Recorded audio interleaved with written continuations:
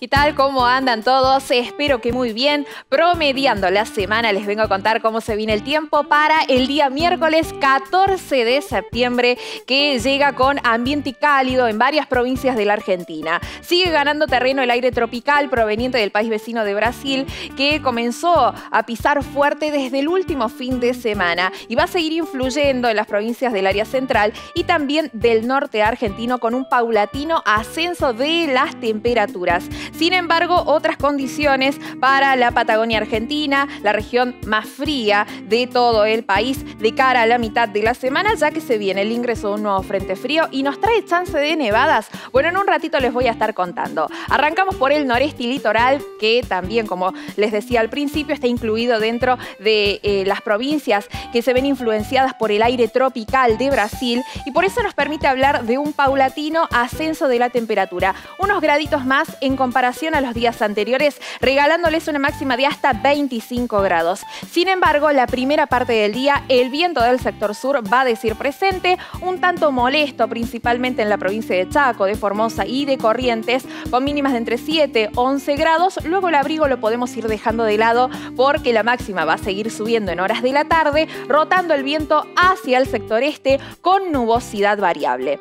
Tiempo estable en el área central de nuestro país, regalándoles una tarde muy, muy primaveral, una primavera anticipada. Pero pese a esto, la mañana y la noche sigue con ambiente fresco a frío, con mínimas de entre 5, 6, 7 grados y hasta los 10 grados. La amplitud térmica es de destacar, máximas de hasta 25 grados, el termómetro sigue subiendo si lo comparamos a las jornadas que pasaron días atrás. Cielo despejado a parcialmente nublado en Santa Fe, Entre Ríos y en la provincia de Buenos Aires hacia la segunda parte del día nubosidad en disminución. Les espera una jornada ventosa en la región de Cuyo, principalmente en la provincia de San Juan y de Mendoza. Con estas condiciones eh, primaverales, con el cielo despejado, tiempo estable, seguramente muchos de ustedes, quienes se encuentren en estas provincias, em, aprovechen estas condiciones para lavar la ropa. Pero Atención a colgar las prendas con muchos broches, porque el viento del sector norte va a tener fuertes ráfagas en San Juan y en Mendoza